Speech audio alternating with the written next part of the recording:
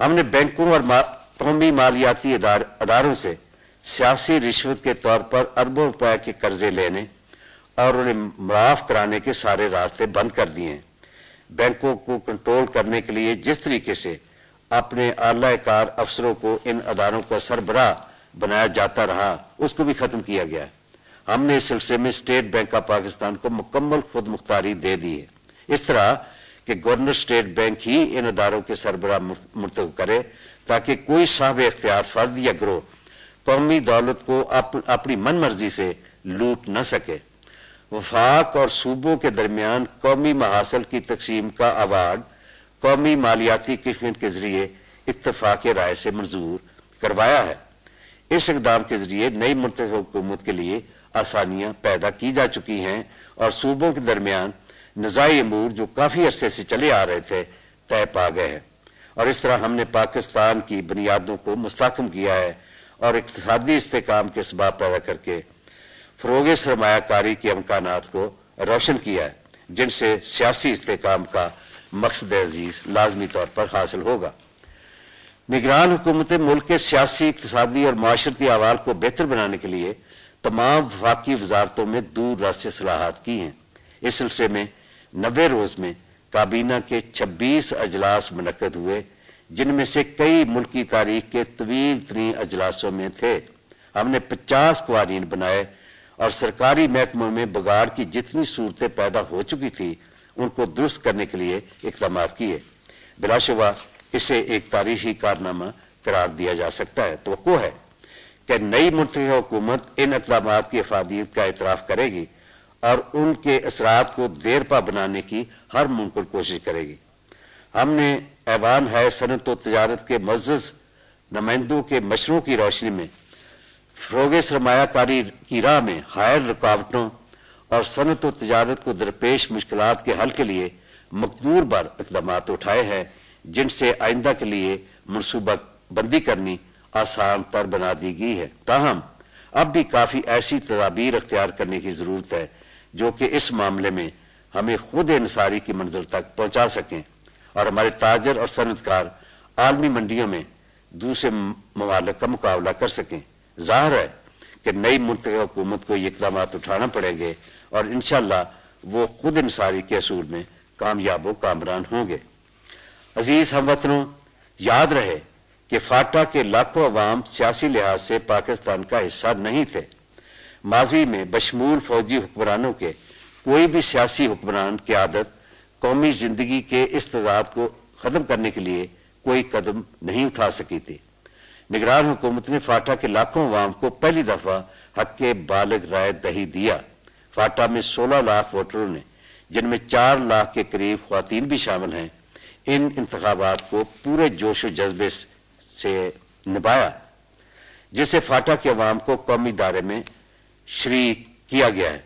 نگران حکومت کا یہ بھی کارنامہ ہے کہ اس نے فریڈم آف انفارمیشن آرڈیننس جاری کر کے ایک اور انقلابی قدم اٹھایا، جس سے عوام اور پریس کو حکومت کے اقدامات سے آگاہ ہونے، ان کا جائزہ لینے اور ان کا احتساب کرنے کا نادر موقع میسر آئے گا۔ اس کے علاوہ ہم نے نجی شعبے میں ٹی وی چینلز اور ریڈیو قائم کرنے کا ایک شفاف طریقہ کار بھی بنایا ہے۔ جس کی تفصیلات جلد آپ کے سامنے آ جائیں گی۔ عزیز دوستوں بزرگوں اور بھائیوں مجھے خوشی ہے کہ ہمارا یہ موقف کہ جمہوری نظام میں سب سے مؤثر احتساب عوام کی عدالت ہی کرتی ہے، صحیح ثابت ہوا۔ لیکن ساری قوم کے سامنے اس موقف کی وضاحت کرنے کے لیے ہمیں غیر معمولی محنت کرنا پڑی۔ مجھے ذاتی طور پر اپنے دوسرے ساتھیوں کی طرح دانشوروں، صحافیوں، وکیلوں مدیروں، ماہرین تعلیم، یونیورسٹیوں، کالجوں اور اسکولوں کے اساتذہ اور طالب علموں، کھیلوں کی ملک گیر تنظیموں، تاجروں صنعت کاروں محنت کشوں، سماجی کارکنوں بینک کاروں اور خواتین کے تنظیموں کے وفود کے کم و بیش دو سو سے زیادہ اجتماعات کو خطاب کرنے کے مواقع حاصل ہوئے اور ان سے آئین کی سربلندی اور جمہوریت کے استحکام کے لیے ان کی دانشورانہ معاملت حاصل کرنے کی سعادت نصیب ہوئی۔ اس کے علاوہ میں نے تمام سیاسی پارٹیوں کو، قائدین اور کارکنوں کو وطن دوستی کا فرض ادا کرنے کے لیے مؤثر رابطے کیے۔ ان سے ملاقاتوں میں میرے اس یقین کو ایمان کی حد تک تقویت ملی کہ ہر فرد، جماعت اور تنظیم انسان دوستی کے احساس اور جذبوں سے لبریز ہے اور اپنے اپنے رنگ میں سبھی آئین کی بالادستی چاہتے ہیں۔ سبھی وطن دوستی کی راہ میں یکساں طور پر جذبہ ایثار و قربانی سے سرشار ہے۔ آپ مجھ سے اتفاق فرمائیں گے کہ خیال خیال و جذبے کی یہ رنگی ہمارا سب سے طاقتور قومی اثاثہ ہے۔ ہم توقع رکھتے ہیں کہ نو منتخب حکمران اس عظیم اثاثے سے پورا پورا فائدہ اٹھائیں گے۔ میں اور میرے ساتھی صدر مملکت سردار فاروق احمد خان لگاری کے شکر گزار ہیں کہ انہوں نے نگران کابینہ سے بھرپور تعاون کیا اور ہر مرحلے پر ہماری ہر ممکن مدد اور رہنمائی فرمائی، جس سے ہم پوری یکسوئی اور فاقت کے جذبے کے ساتھ اپنی ذمہ داریوں کو نبھانے میں کامیاب ہوئے ہیں۔ صوبوں کے گورنر صاحبان اور وزرائے اعلیٰ نے بھی جس طرح باہم دیگر اعتماد و تعاون کا فرض بحسن و خوبی انجام دیا ہے، وہ بھی ہمارے دلی شکریہ کا مستق ہے۔ انتخابات کے انعقاد کے سلسلے میں چیف الیکشن کمیشنر اور ان کے ساتھیوں نے جس حسن و خوبی سے تمام انتظامات کو منظم کیا اور اس طرح منصفانہ انتخابات کو ممکن بنایا اور انتظامیہ نے بھی اپنے فرائض کی بجاوری میں جس خوش دلی اور فرش نازی سے کام کیا، وہ سب ہماری سپاس گزاری کے حقدار ہیں۔ اس سلسلے میں مسلح فوج نے جس غیر معمولی محنت، مستعدی اور خلوص سے اپنے فرائض کی اجام دہی کی، وہ بھی ساری قوم کے نزدیک عزیز تر ٹھہرے ہیں۔ میں قومی پریس کا بھی ممنون ہوں، جس نے نگران حکومت کے اقدامات اور فیصلوں کی وسیع اور درست رپورٹنگ کی اور رائے عامہ کی تربیت کرنے میں اہم کردار ادا کیا۔ اس دفعہ الیکٹرانک میڈیا نے ہمیشہ سے کہیں بڑھ کر اور پوری آزادی کے ساتھ انتخابی سرگرمیوں کی تشہیر کی اور گزشتہ تین ماہ کے دوران قومی زندگی کے متعدد گوشوں پر متوازن، معروضی اور فکر انگیز پروگرام پیش کیے۔ جن میں سے بعض براہ راست دکھائے گئے اور تمام سیاسی قوتوں اور شخصیتوں کو منصفانہ انداز میں اپنی بات کہنے کا موقع فراہم کیا گیا۔ اس پالیسی کو سارے ملک میں سراہا گیا ہے۔ اب ہماری قومی زندگی کا انشاءاللہ ایک نیا دور شروع ہوگا اور ہماری دعا ہے کہ پاکستان کا مستقبل روشن اور تابناک ہو اور نئی منتخب قیادت کامران کامیاب رہے۔ عزیز ہم وطنوں، ہم اپنی کمزوریوں اور خامیوں سے پوری طرح آگاہ ہیں۔ اس ماحول میں ہم ہم سے لگزشوں کا سرزد ہونا بعید از قیاس نہیں تھا۔ ہم جانتے ہیں کہ ہمارے مذکورہ دعووں کے باوجود زندگی کے بے شمار گوشے ابھی تک اصلاح طلب ہیں۔ ابھی قوم بوران سے دوچار ہے۔ ہم قوم کی اجتماعی کوششوں سے ہی اس پر قابو پانے میں کامیاب ہو سکتے ہیں۔ کسی مرلہ پر بھی حالات کی سنگینی کا ادراک نہ کرنا صحیح نہیں ہوگا۔ اس قلیل مدت میں ہم سے جو بن پڑا ہم نے کیا ہے، لیکن بہت کچھ کرنا باقی ہے اور یہی وہ آزمائش ہے جس پر پورا اترنے کے لیے نئی منتخب حکومت کو لازمی طور پر عوام کی حمایت درکار ہے۔ ہم اسے اپنا فرض منصوی خیال کرتے ہیں کہ قوم کو یاد دلایا جائے کہ اسلامی وفاقی پارلیمانی جمہوری نظام ہمارا مقدر بن چکا ہے۔ اس کی اہمیت اور افادیت سے سر منہ انعراف نہیں کیا جا سکتا۔ اس نظام کی تدوین اذیت ناک مراحل سے گزر کر قیام پاکستان سے چھبیس سال بعد انیس سو تہتر کے متفقہ دستور کی شکل میں ہوئی تھی۔ ہمیں ان مراحل کی المناکی کو کبھی فراموش نہیں کرنا چاہیے۔ اس آئین کی روح سے جمہوریت کا فروغ اسی صورت میں ممکن تھا اور ہے کہ وفاقی عقائیوں یعنی صوبوں کی خود مختاری کے ناگزیر تقاضوں کو بروع کار لایا جائے۔ مرکز کی طرف سے ان کے امور میں دخل اندازی نہ کی جائے، بلکہ ان کے اختیارات میں بتدریج اضافہ کیا جائے۔ صوبائی حکومت کے لیے لازم ہے کہ وہ حکومتی اختیارات کی تقسیم نچلی سے نچلی سطح تک لے جانے، گاؤں اور شہروں میں وارڈ کی سطح پر عوام کو ذمہ دارانہ حیثیت میں اپنے مسائل جاننے، ان کے حل کے لیے وسائل پیدا کرنے، اور ان وسائل کو طے شدہ ترجیحات کے مطابق استعمال میں لانے کے قابل بنائے۔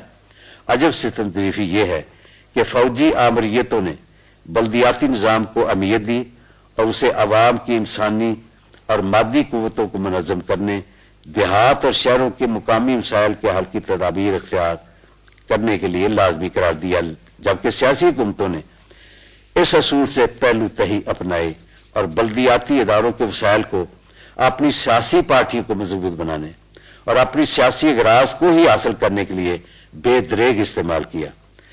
بلدیاتی ادارے عوام کی جمہوریت، جمہوری تربیت گاہوں کا کام انجام دیتے ہیں اور شہریوں کے معاشرتی رشتوں کو پاکیزگی عطا کرتے ہیں۔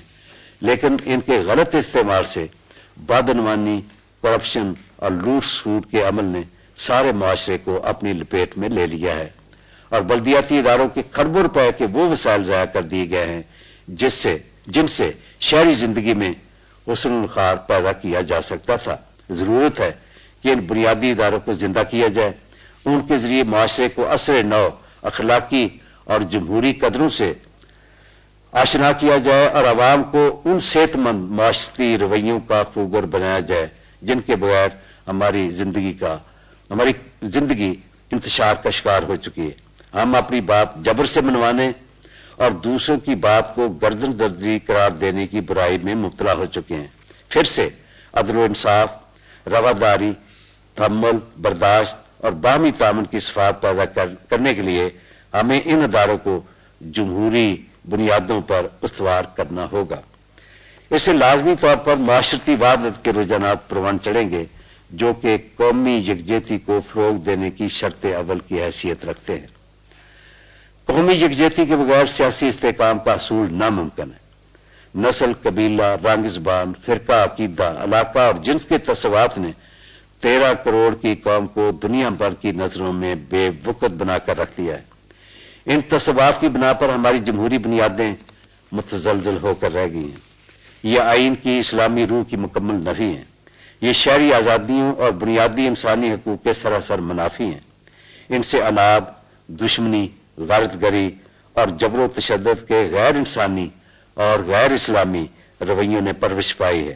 ان کی وجہ سے لا قانونیت جان لیوا شکل اختیار کر چکی ہے اور ہر شہری کی عزت و آبرو اور جان و مال کا تحفظ ناپید ہو کر رہ گیا ہے۔ لازم ہے آئین کے بنیادی نصب العین کے مطابق قومی زندگی کی تعمیر و ترقی کے لیے عوام کو اسی احساس اور جذبے سے سرشار کیا جائے جس کے ذریعے انہوں نے پاکستان کی آزادی حاصل کی تھی اور ان کی عظیم انقلابی قوت کے سامنے تمام دشمن طاقتیں پاش پاش ہو کر رہ گئی تھیں۔ یاد رہے کہ عوام غیر معمولی صلاحیتوں کے مالک ہیں۔ وہ پاکستان کی آزادی اور عدل و انصاف کی علمبرداری کے لیے ہر قربانی دینا جانتے ہیں۔ انہوں نے زندگی کے ہر مرحلے پر اس کا بھرپور ثبوت مہیا کیا ہے۔ آج ہم فکر و عمل کی واضح صرف نہ ہونے کی بنا پر جس مایوسی اور بدلی سے دوچار ہے، اسے صرف اور صرف عوام کی شعوری طاقت سے ہی دور کرنا ممکن ہے۔ اس لیے حکمرانوں پر لازم آتا ہے کہ وہ انہیں اعتماد میں لیں۔ ان سے حقائق کی سنگینی کو نہ چھپائیں اور موجودہ فرسودہ نظام کی وجہ سے جو تضادات پیدا ہو چکے ہیں، ان سے نجات حاصل کرنے کے لیے عوام کی تائید اور حمایت پر ہی بھروسہ کریں۔ ہم آج جن پریشانی سے دوچار ہیں اس کے ذمہ دار عناصر کو بے نقاب کرنا وقت کی اہم تری ضرورت ہے۔ عوام بے قصور ہیں۔ وہ ایسی رانمائی کے طلبگار ہے جنہیں منزل کا صحیح نشان دے سکے۔ انہیں محرومی اور محکومی کی دلدل سے نکالنے کی راہ دکھا سکے۔ اس لحاظ سے قوم کو میرے نقطہ نظر سے صفاق مسیحائی کی ضرورت ہے۔ بھائی اور بہنوں، پاکستان کو شرع خاندگی اور معیار تعلیم کے لحاظ سے دنیا کی پسماندہ ترین قومیں میں شمار کیا جاتا ہے۔ آج تک جہالت، توہم پرستی، بھوک اور فلاس کے خاتمے کے لیے فروغ تعلیم کے پروگرام کو کسی حکمران نے ترجیح نہیں دی۔ معاشرے کی اخلاقی صحت اور جسمانی تنومندی کے لیے نتیجہ خیز تدابیر اختیار نہیں کی جا سکی۔ عوام کی پیداواری صلاحیتوں کو کند کیا جاتا رہا ہے۔ نوجوان نسل کے سیرت و کردار میں ان کی فطری صلاحیتوں کو پروان چڑھانے کے لیے کوئی واضح حکمت عملی اختیار نہیں کی گئی۔